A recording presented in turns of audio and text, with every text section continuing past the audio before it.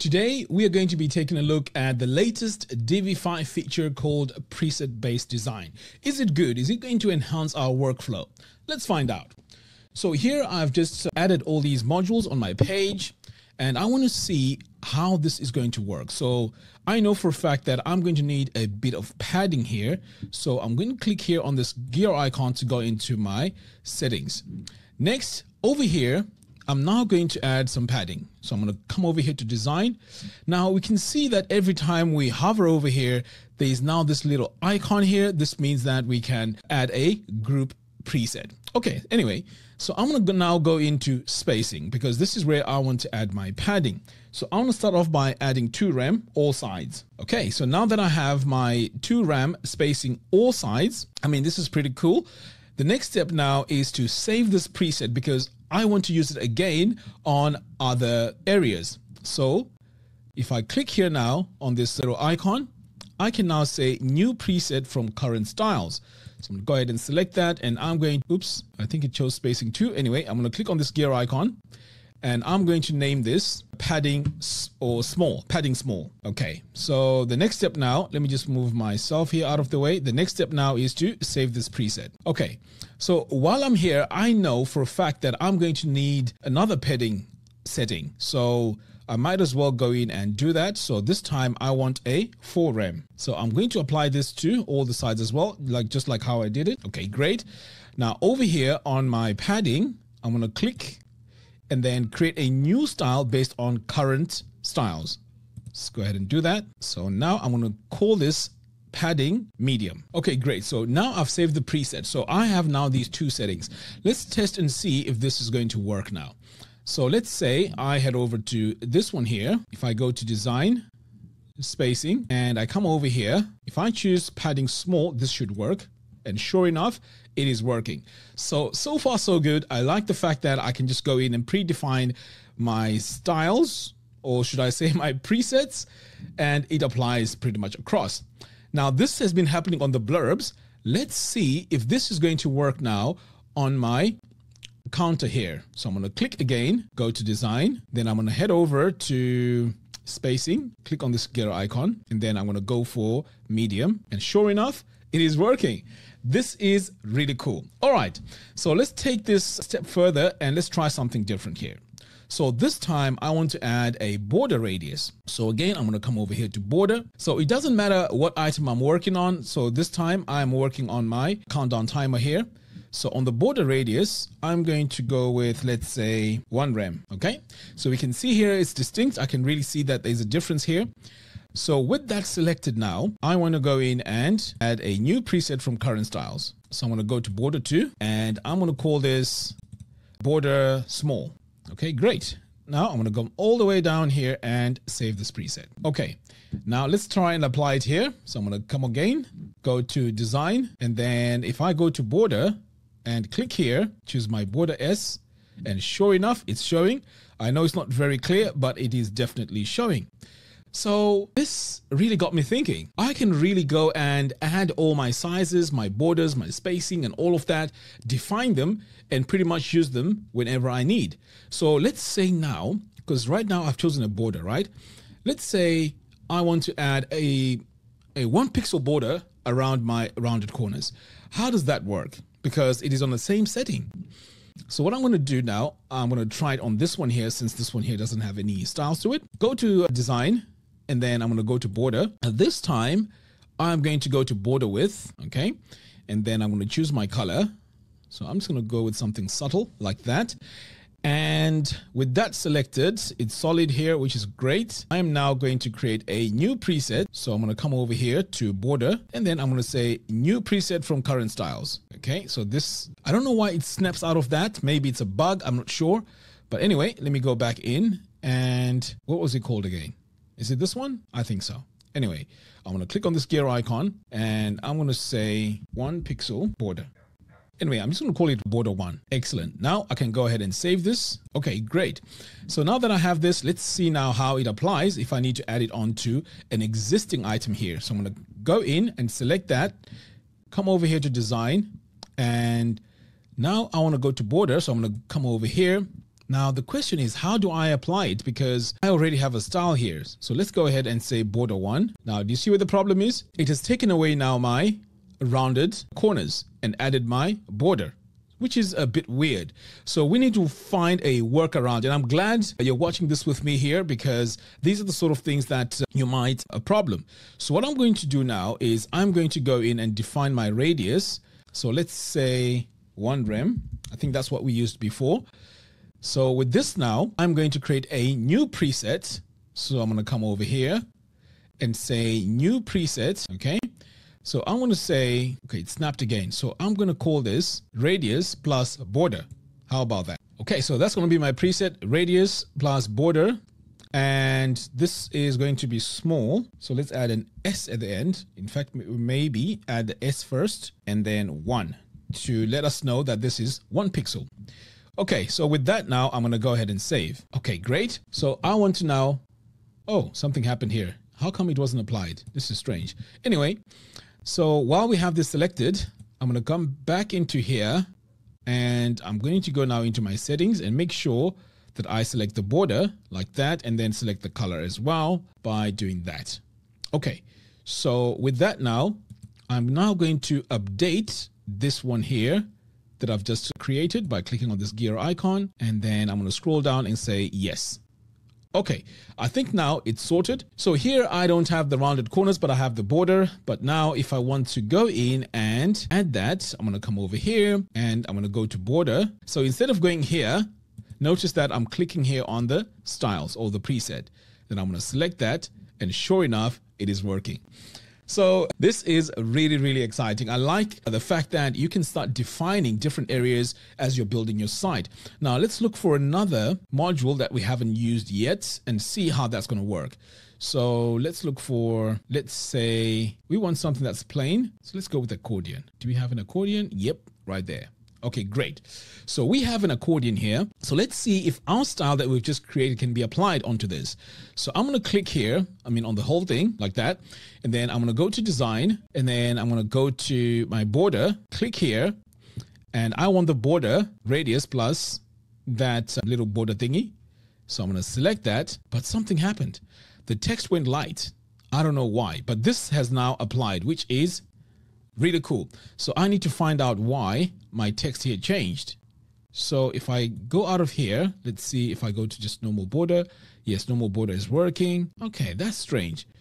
It could be that there was something I was working on that triggered this. So let's go back to design here and see where else we have maybe body text here. Let's go in and see. Okay, I think I have my body text here. I was playing around with this earlier on.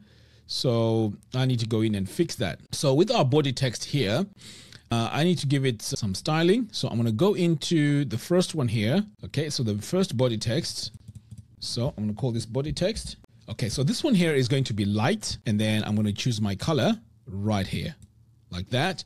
And then let's update this. So I'm going to go ahead and save preset. Okay, next I want to create another one, but this time it's going to be dark. So with that selected, we're going to go into our body text here, but I'm going to go to the, to the second one and then I'm going to click on this gear icon and choose a darker color. Well, now the strange thing here is it's not changing in here. I don't know why. Anyway, I'll change this to a darker color and I'm going to call this body text D for dark. Okay, let's save this preset. Okay, so still no change.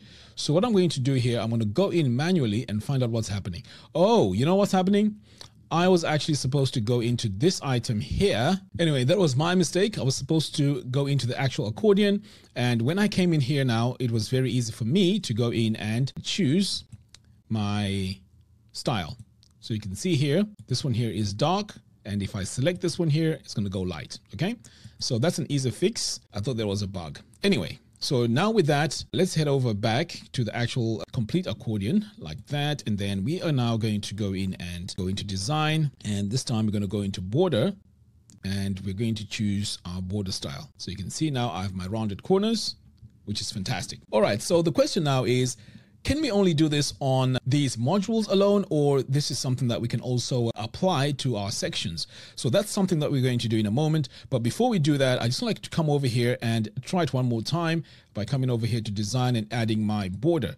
So I'm going to go in here to my group presets and I'm going to choose this one right here without the without the pixels. Okay, great.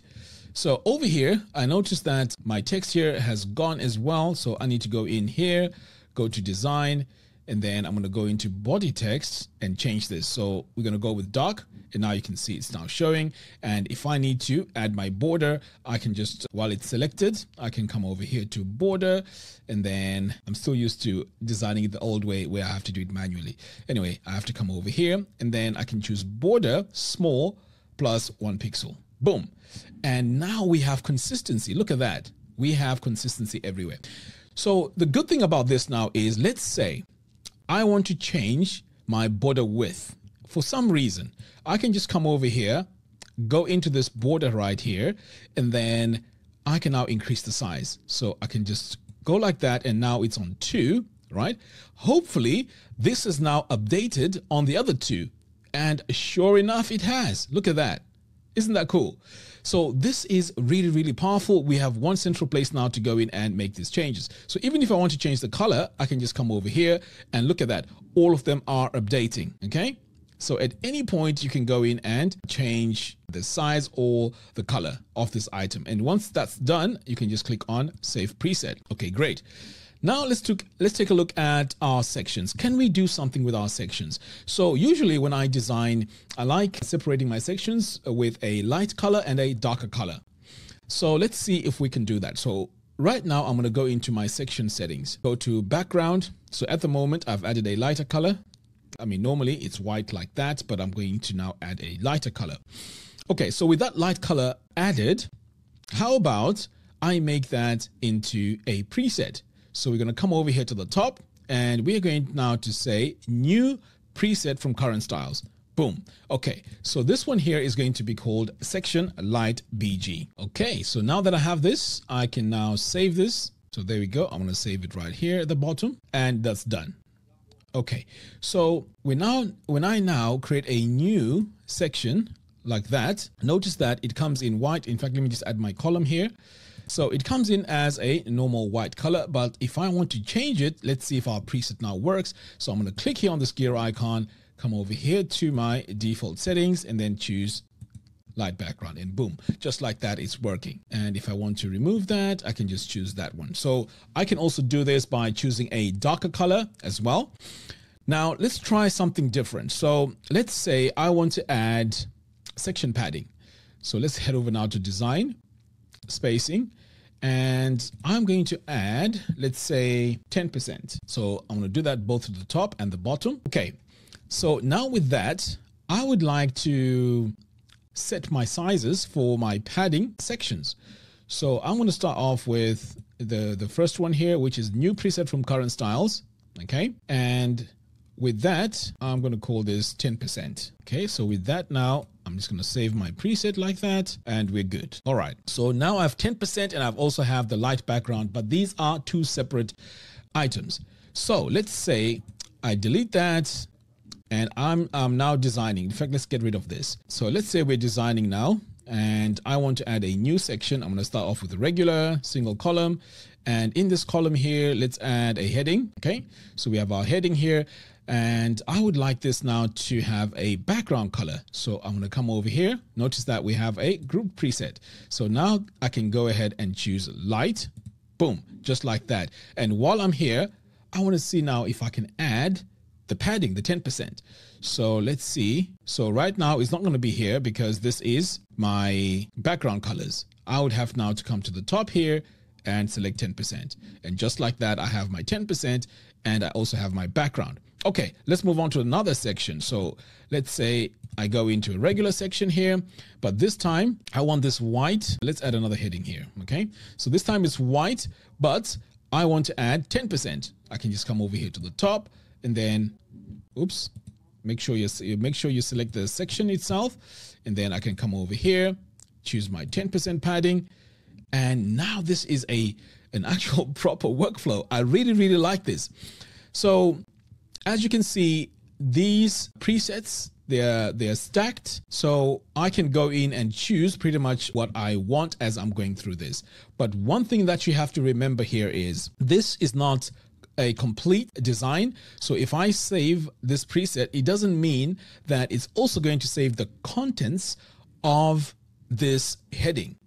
Okay, because these have their own settings. So look at it more like the presets are going into sort of like customize each individual items. So let's say it's a specific module like a blurb, it goes in and puts in those settings for the blurbs or the sections or the rows or each and every item. But when it comes now to let's say the complete section here if i wanted to save this whole thing as a preset maybe i've designed the whole thing perhaps maybe i've even added a button here for example it won't save the whole thing as a as a preset. For me to use the whole section like this as a preset okay? You just have to add all the items in individually and that's how it works. So my thoughts on this so far this is a fantastic addition to Divi. It is really good. I can, I mean, it's really good, and I can see how this is going to enhance our workflow. However, I'm a bit confused. A few weeks ago, Nick made a video talking about the future items that are going to, or future features that are going to be added onto Divi 5. And one of the features was the sizes. I mean, the different scaling and sizes like clamp and so on. That is really good because right now we cannot have typography because if I come over here to text and let's say I go to sizing, in fact, I need the text module.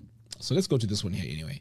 So if I go to text and then I go to the heading here, and let's say I want to go into sizing. All I have here is our pixels, EMs, and so on. But I don't have the advanced one like clamp. So this is this feature is actually coming. Coming. So the confusion here is if we are going to be getting variables, which he mentioned that they were going to be coming, then isn't it better to create our variables and then as we're designing, we would come over here and then choose the variable and then that just gets applied to this. So if we need to make any changes, then we would go to our variables and then just make the changes there and the variables or the changes are going to be applied across the whole website. This is what I don't understand or don't get. Isn't this like a duplication or maybe perhaps isn't this going to cause confusion? Because this is a fantastic feature, by the way. I really like this. But with the variables now, there might be a clash. So for all you Divi designers out there, and if you've tried this out, let me know what you think in the comments box below. And if there's anyone from the Elegant Themes team working on these features, uh, please let me know how this is going to work. The variables plus the advanced, what are they called? The advanced units. Okay. If that's going to be introduced, isn't that going to pretty much make this irrelevant?